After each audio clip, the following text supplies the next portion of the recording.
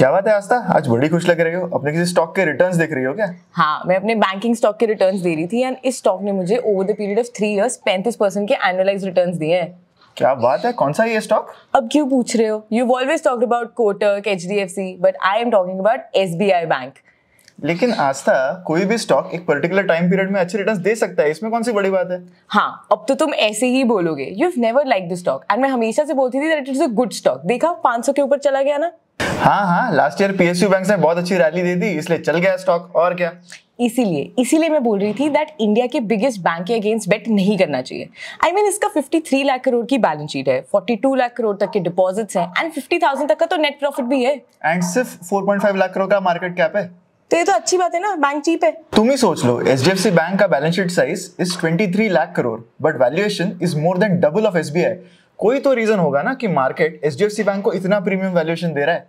पर ये premium valuation के चक्कर में पैसे थोड़े ना बनते हैं बस एक खुशी मिलती है कि अच्छी कंपनी ओन करते हैं। आई मीन रिटर्न्स भी तो इंपॉर्टेंट होते हैं। इनफैक्ट रिटर्न्स ही इंपॉर्टेंट होते हैं। अच्छा चल एनालाइज करते हैं एसबीआई को। टू बिगिन विद ये एक पीएसयू है।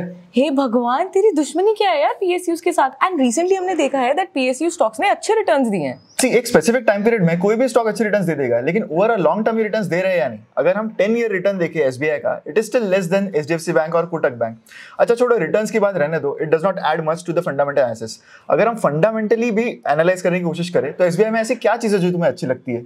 टू बिगिन विद उनके नेट इंटरेस्ट मार्जिन क्योंकि वो अभी धीरे बढ़ रहे हैं क्वार्टर थ्री में 3.69 परसेंट के हो गए थे। And this is highest in last so many quarters अरे तो करंट एनवायरनमेंट में किसी भी बैंक का यही ग्राफ है, जब रेपो रेट्स कम हो रहे थे, तब मार्जिन बैंक ज़्यादा नहीं बना पा रहे थे। अब जैसे जैसे रेपो रेट्स इंक्रीज हो रहे तो बैंक तुरंत अपने लेंडिंग रेट्स बढ़ा रहा लेकिन डिपॉजिट रेट्स सेम रेट से नहीं बढ़ रहे। So currently every bank is making a very good interest margin पर अभी टाइम पीएसयू बैंक्स का है बिकॉज़ Q3 में किसी भी पीएसयू बैंक ने लॉस नहीं रिपोर्ट किया। एंड अगर लास्ट सिक्स ईयर्स की बात की जाए तो ये क्वार्टर पीएसयू बैंक्स के लिए काफ़ी अच्छा था।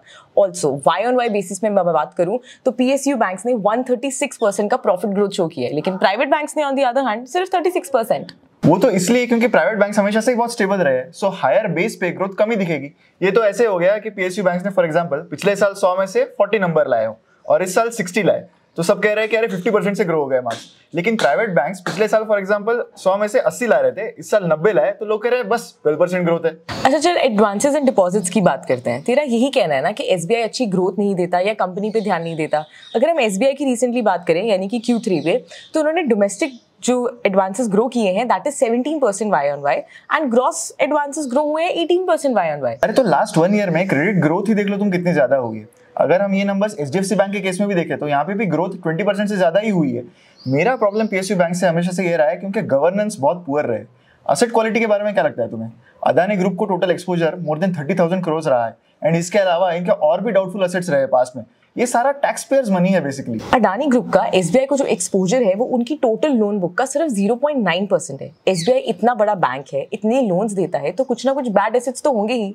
बट देखने वाली बात ये है that SBI is bank to every Indian I I mean mean, वो इंडिया के हर कॉर्नर में है and it provides its facilities to even marginalised Indians see मैं इस चीज़ को तो डाउट ही नहीं कर रहा। आई थिंक एसबीआई ने जो काम किया है in terms of taking credit to the weaker sections of the society ये बहुत बड़ी बात है एंड उन्होंने देश के लिए बहुत अच्छा काम किया।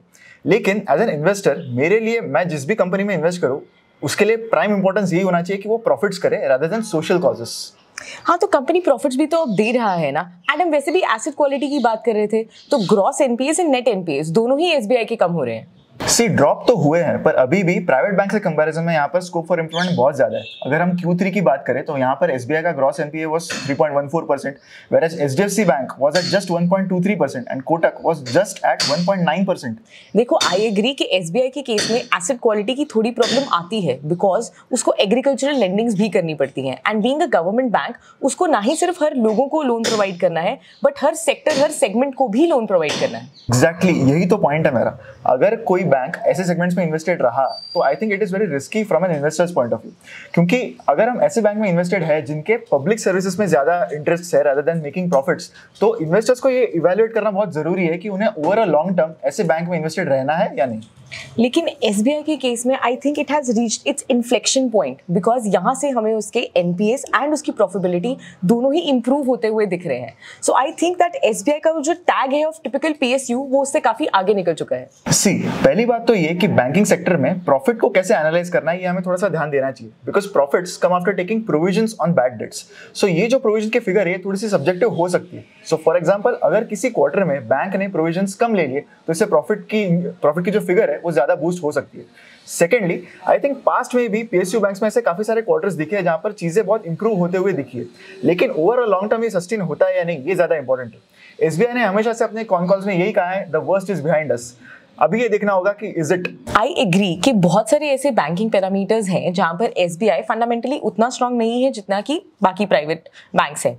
बट द पॉइंट इज़ जब हम वैल्यूएशन की बात करते हैं तो एस चीप वैल्यूएशन पे भी तो है। पीई e उनका 10 है पीबी उनका 1.4 है। वेयर अगर मैं एच बैंक की बात करूँ, तुम बताओ, तीन से कम के पीबी पे मिलता है क्या?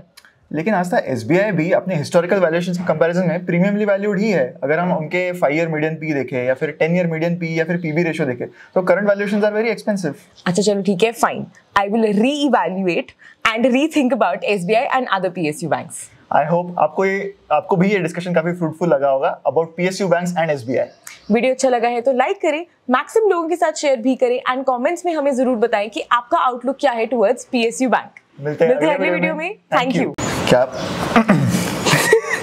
क्या हुआ क्या? आवाज़ ही नहीं निकल रही थी। हाँ अभी आएगा अभी आएगा अभी आएगा। मैंने नीचे देखने की कोशिश भी करी बट मेरे को दिखाई नहीं।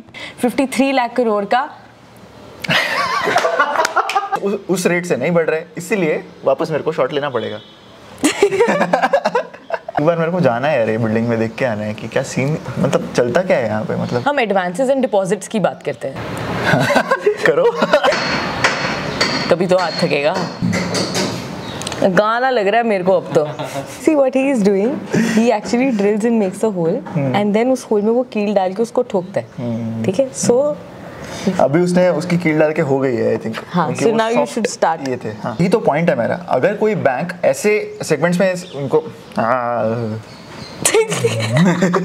just said it in your own line. It came out so nicely. Now we have to do it all over again. हाँ. Why would you do that? वो ऐसे हो गया अभी क्या कर सकते दोबारा